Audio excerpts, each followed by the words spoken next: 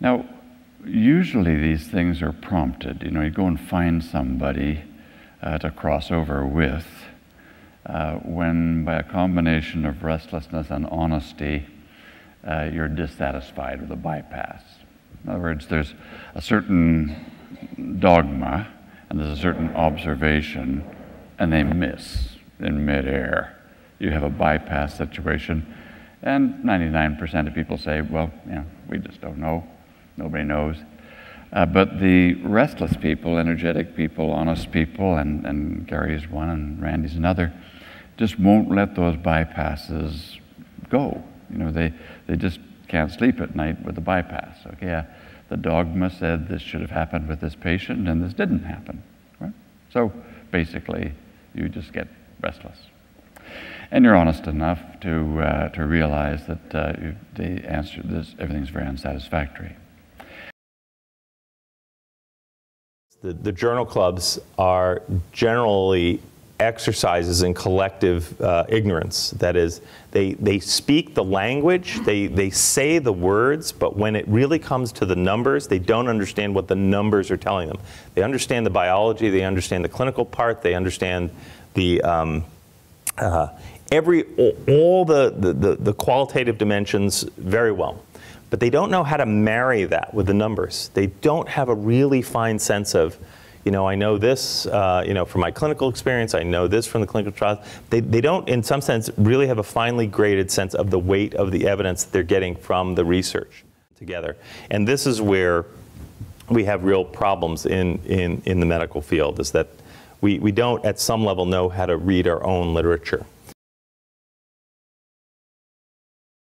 And observational data fundamentally will not get you there because no matter essentially what observational data you show me, I can come up with an alternative explanation for those data that explain the study. I'm not saying the studies are wrong, that would lead to a different conclusion regarding what you should do interventionally to achieve the best possible outcome for that patient.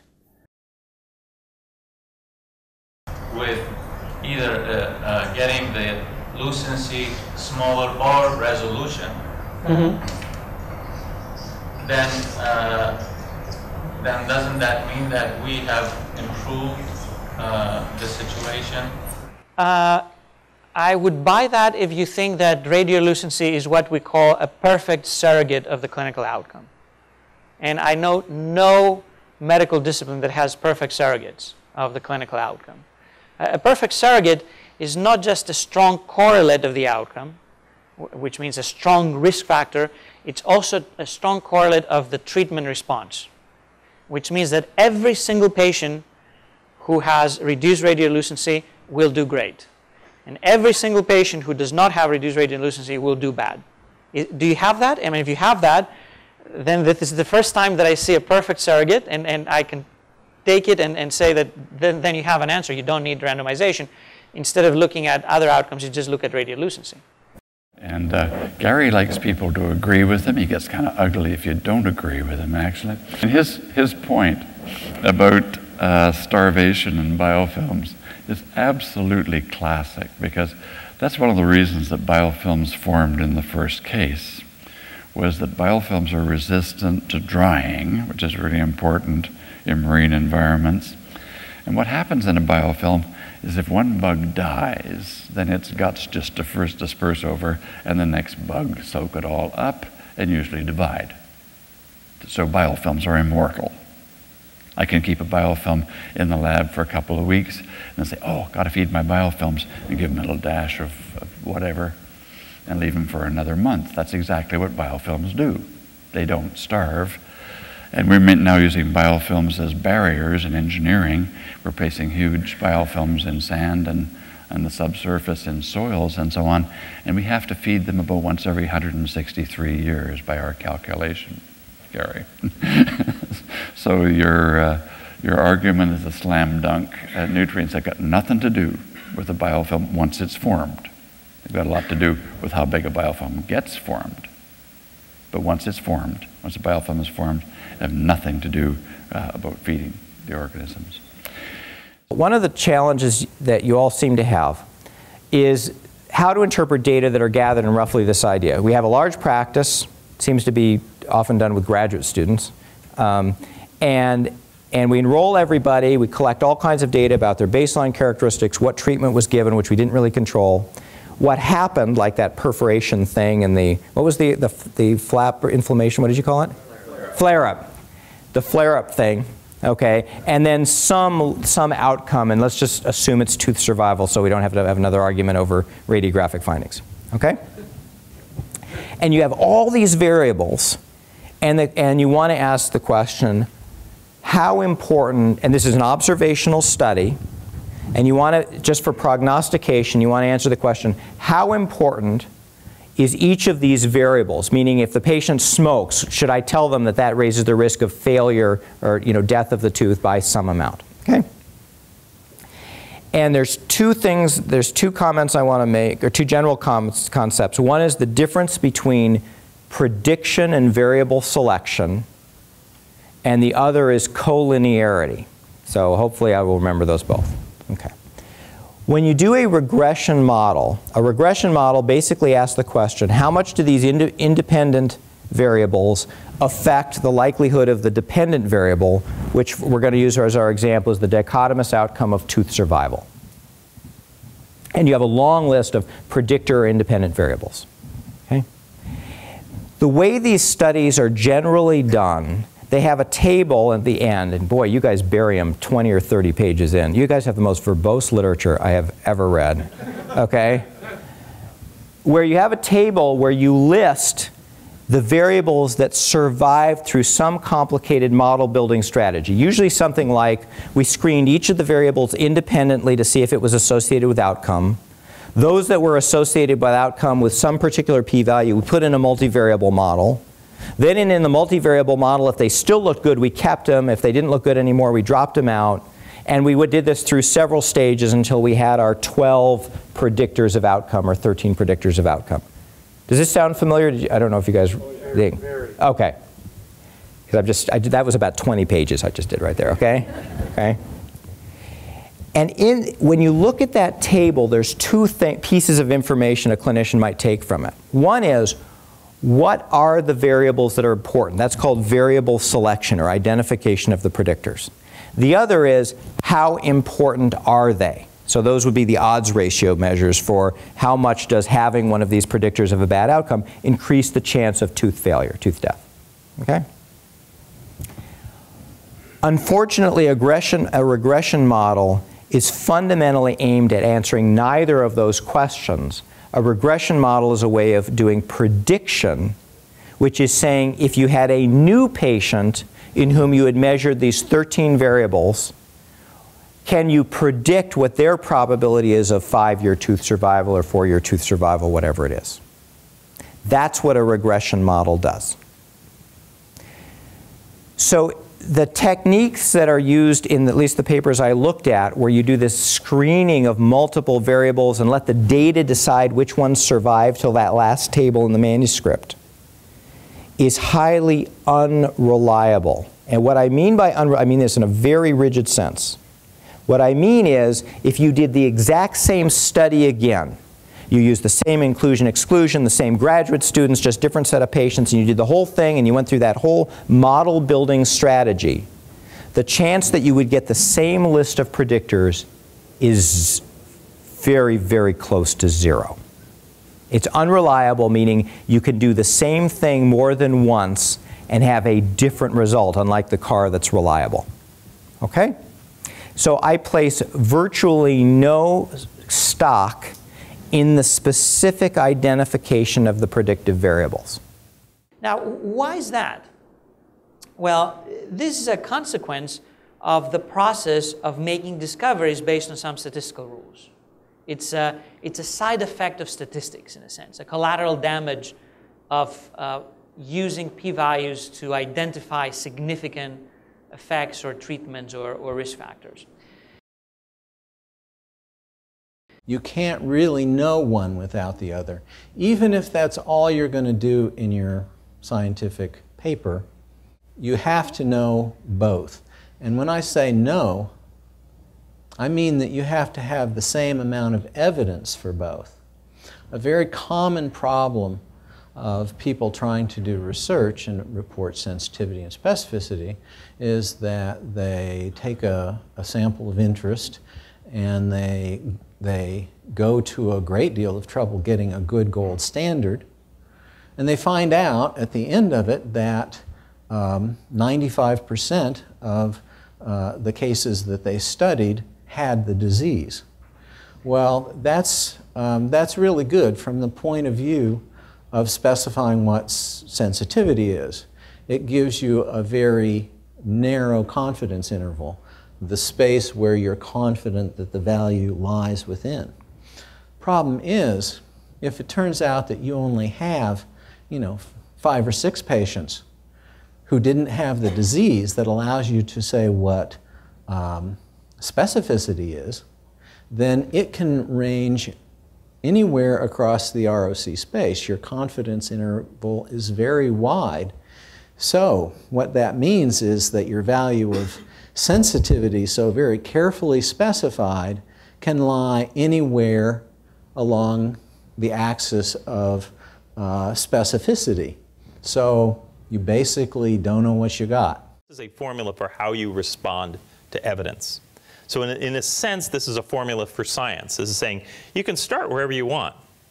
You know, start wherever you want. You can say this is a cockamamie theory, this is a probable theory, but you got to respond to data in a coherent way. And you can show theoretically, formulaically, and that if you don't obey this rule, that you will always end up being caught in incoherent beliefs that you will, you will say things like, um, this treatment is better than that treatment, A is better than B, and B is better than C, and C is better than A. Or you could simultaneously come to the conclusion that C is better than A and A is better than C. That is, the probabilities of being uh, one better than the other is, adds up to more than one. I mean, all sorts of crazy stuff. So if you don't, you can show that if you don't modify your beliefs in this way, any other way of modifying your beliefs ends up with crazy beliefs. The way you would do that is you wouldn't let your data pick the variables. You would use what you know about the biology and what you've observed in your clinical practice to identify the list of likely predictors. And I would want you to come up with probably five to eight. Five if you could do it without hurting each other. Okay? The reason for that is inherently Bayesian. It's because I want a set of predictor variables that I know have a high enough pretest probability, pre-study probability, prior probability of being the right ones because you, they make sense, they, they match your clinical experience, etc. Then I'm going to be using the data from the trial and the regression fit using those as the predictors to estimate the magnitude of their association. That is a coherent method of model building because I've separated the prior information, which is in the list of variables you give me, from the likelihood function, which is the data, which then gives me the regression coefficients that tells me which variables really are important and how important are they. Okay? The model building strategy where you let the data do everything in this ill-defined way mingles the prior information and the current likelihood in a way that gives the data such sway over the variables that the variable selection, the, the details of what you ended up with, not you personally, but what the authors ended up with, is likely reflects the noise in the data as well as the actual information that were there. Okay. So there's this whole set of observational data that you seem to be enamored of in your specialty that I have grave concerns about. And the alternative is to actually try things that, and the selection of what you try should be informed by the models that you have or the uncertainty you have in those models and actually see what happens and do randomized control trials. And I think that if you don't change your mode of doing research to doing randomized trials with good long-term follow-up, that you could invite me back in five years and like our esteemed host, I could just play a tape of my talk this time and it would still apply. I think you're going to have to do that to break out of this mold. Gary was saying, we as microbiologists, and particularly microbiologists who study infectious disease, we all owe an enormous debt um, to Robert Koch. And his paradigms were developed to explain what were the prevailing um, infectious diseases of the time. These were acute clonal epidemic diseases that would run through populations and kill very large segments of the population. And the system that he came up with very accurately modeled what was going on in these acute infections. And so the idea, you know, of, of isolating, you know, a, a single bacterial isolate, putting it in culture, taking it out, putting it in an experimental animal, showing it it caused the same disease, and then re-isolating it was a very valid and uh, paradigm, and it still is if you're dealing with acute clonal infections. What I really want to stress today is that there is a fundamental difference um, between acute infections and chronic infections, um, and Koch's postulates don't apply to chronic infections. So there's this very important dichotomy between chronic and acute infections. And you'll see me over and over again in the talk today. I'll be referring to some of our work where we study middle ear disease or otitis media. And this is a, a very useful um, dichotomous model um, because there are, there is an acute form of otitis media and a chronic form of otitis media. And recently I have learned from talking with uh, Gary and his colleagues that this is not unlike uh, what you see in dentistry, that you also have this dichotomy of acute and, and chronic disease. So this brings us to the distributed genome hypothesis.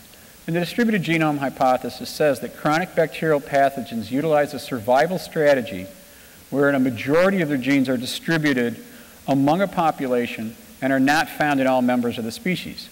Thus, at the population level, there exists a supergenome, which is much greater in size than the genome of any one organism for that species. This idea that your value to the patients and the value of your specialty to your patients needs to be based on things that patients can perceive as being an expected benefit of the therapy if it's successful. You should be worried if you continually have studies that show that you make x-rays look better but the teeth fall out just as much or hurt just as much. I'm not saying they do, but I'm just saying you should be worried. So you instead should design your future studies so that the primary outcomes are things that the patients care about, people are willing to pay for in terms of the, the benefit, and these things that help you understand baseline risk, or the process of disease that leads to those outcomes as a scientific endeavor, those are things you should continue to collect, but don't confuse them with outcomes. Back and read Neyman and Pearson's original papers, Neyman's papers subsequently, which I did and had to. I was one of, among the cohort of his the last students taking his class on his research project and so forth. Know, that this is exactly the philosophy that was driving him. That you could never prove anything. You could only disprove it you could only leave it standing within the current margins of error so that it might still be viewed as useful. And that got lost somewhere along the way in basic teaching and even advanced statistics teaching. Reason you cannot use the fact that, that symptomatic teeth tend to have lesions and therefore, and I should intervene when an asymptomatic tooth has a lesion, is because you have no idea what the denominator is of teeth with lesions who remain asymptomatic for the entire life of the patient. You have no idea. You also have the chance of not having any symptoms, doing a procedure, and then you have symptoms. Because yeah, because of the procedure, exactly. So, so, I mean, so far we haven't discussed the possibility of the procedure causing problems on its own. So, so you wouldn't know anything about that, would you? Well, uh, based on my personal experience, I, I, had an endodontic procedure so that I wouldn't have a problem. And then I had a problem. I, my, my tooth broke within a couple of months. Uh, and, you know, I had the non-problem for several years. so, so collinearity is the tendency of two different predictive variables to be correlated with each other. Okay? So let me take uh, do a classic one. Let's do smoking and, and excessive alcohol use. Okay? So, just out of curiosity, is alcohol use something you guys um, that affects dental health? It does, right? No, not your social life. Does it affect dental health? Okay. Oh, that's interesting. So it's not a huge issue. Well, I'm going to use it as an example because I, it, I know the correlation for it. Okay. So what is the what is the smoking behavior of patients who self-identify as alcoholic? They generally smoke. What is the drinking of behavior of people who smoke?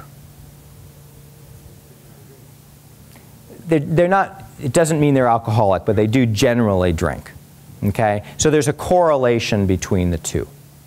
So what happens if you include both smoking and drinking in a predictive model of, let's just do general health, okay, because clearly you, you believe the effect, okay? What do you think happens? So the question is, you do a regression model, your predictors are, do you drink, do you smoke, and the outcome is, is you know, some measure of health, One exercise. Also. Yeah, you and I talked in the break. Okay. okay. Okay. So the answer was one hides the other.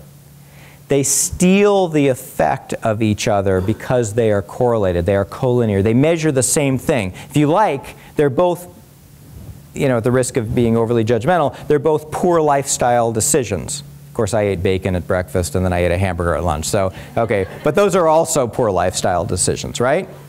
Okay, so they're correlated with each other, so they're measuring kind of the same characteristic. It's kind of okay because you can look for an interaction of the two. Maybe you think of them as independent decisions. But let me show you where this is a real problem.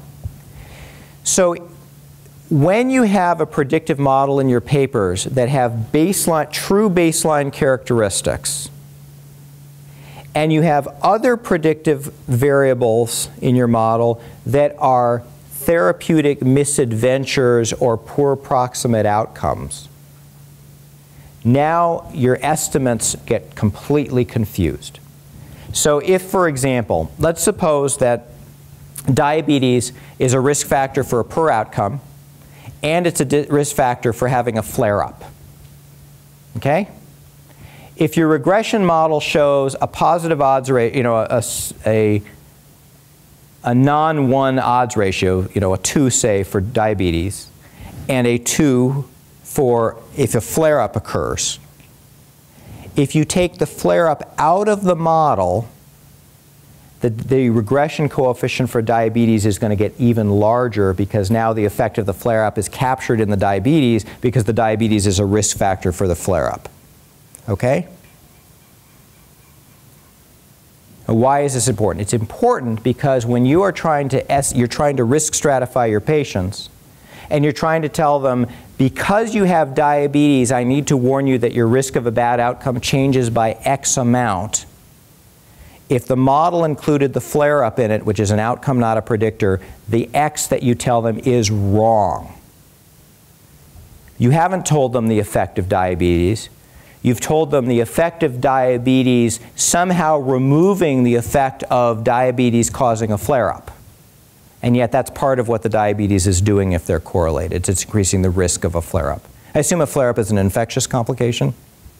Okay, so presumably diabetes doesn't Okay, okay, you guys can't agree on that. So, um, uh, okay. So does that make, this is really important.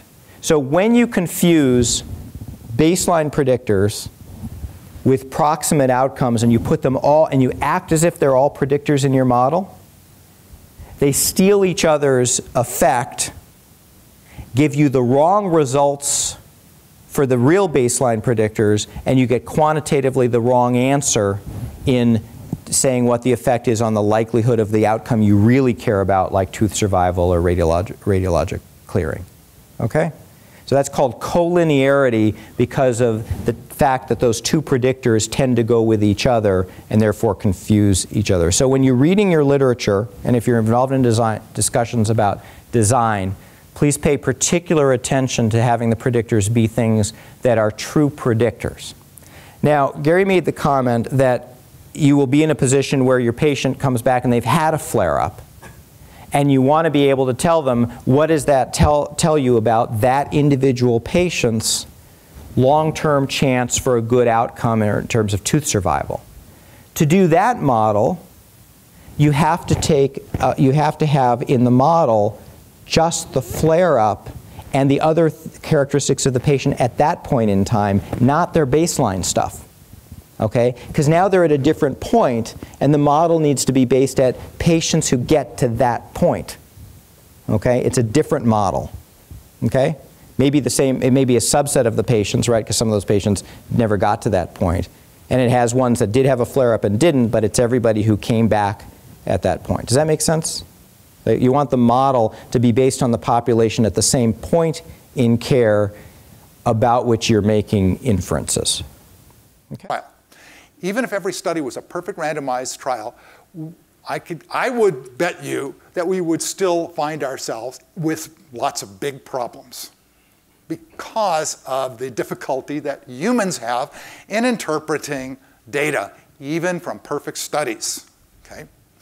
I do think that uh, doctors, all clinicians in general, have to be very humble about what they think they know in terms of outcomes, and, and that's been the biggest problem, is that uh, every caregiver often thinks they know better how to treat a collection of people but when subject to actual clinical trials, often that intuition is not borne out.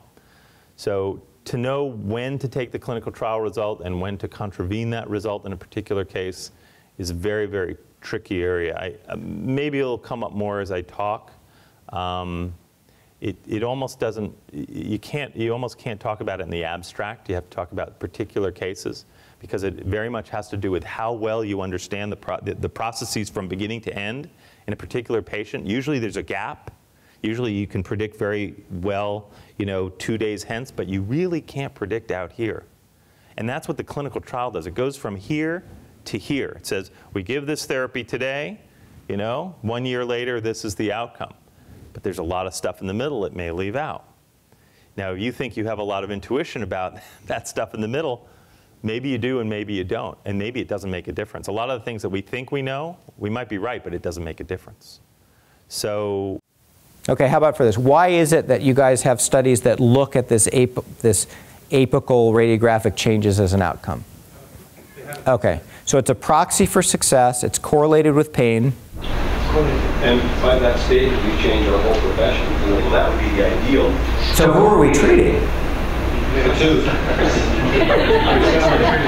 You have to know that this, this um, psychical, psychological need to have personal effectiveness, independent of what's perceived by the patient, is shared by all healthcare professions. Okay? I can come up with lots of examples where in, in my particular specialty, we did the same thing for years, and, and some people only gave up the outcome measures they cared about when they died the, the physician died. Okay? Okay. Now, if, if you read the methodological literature, uh, to get strong evidence of surrogacy, you need two prerequisites. One, you need to have randomized evidence. So you cannot have a strong surrogate unless you have already run a randomized trial that had shown that what radiolucency evolution told us is exactly also what we saw in the clinical outcome. Number two, you need a large treatment effect. So you, you need a randomized trial that shows a large clinical benefit, and then you can take whatever candidate surrogate marker, map it uh, along with that benefit and see that it does map and concord very nicely with the clinical benefit. In, in this case, there's no randomized trial, let alone treatment effect. So, uh, you know, it would be completely a, a belief that you know radiolucency is such a great marker. You know, ultimately, this takes you know a long time and immersion and, and careful thinking.